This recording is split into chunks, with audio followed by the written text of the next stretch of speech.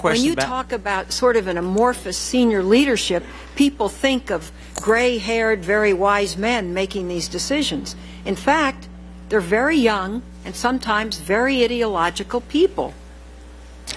Senator, what- what would you want to know who's making the decision? Because when Mike Battle testified to the staff of what the response was when he called these U.S. attorneys, it was a shot out of the blue.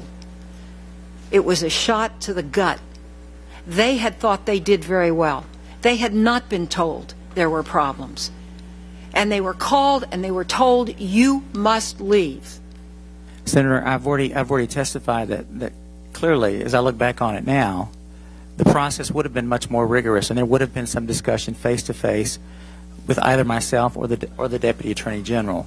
I, I- you, you mentioned something that reminds me of the, the, the discussion back and forth between you and or not, involving you and Senator Schumer about about Carol Lamb. I want to I want to make sure that I'm clear about this, and that is, I believe based upon my review of the documents that Ms. Lamb knew that there were concerns, or certainly there was an interest in her performance with respect to immigration prosecutions.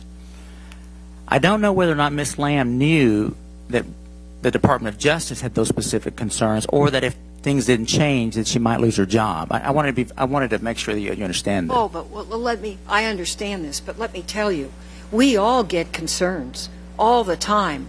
But if I were employed by justice, I would be curious as to what my bosses think, not the flack that I may or may not be getting from other places, because the flack, to some extent, comes with the territory.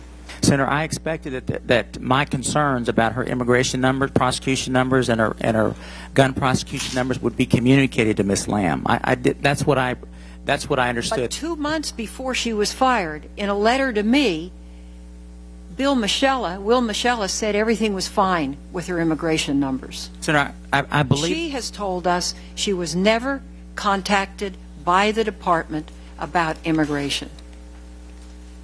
Senator, I'm, I'm, My time is up. thank you. Did you want to respond to that question? That's fine, sir. Certainly, certainly allow you to if you want to. Thank you, sir. Senator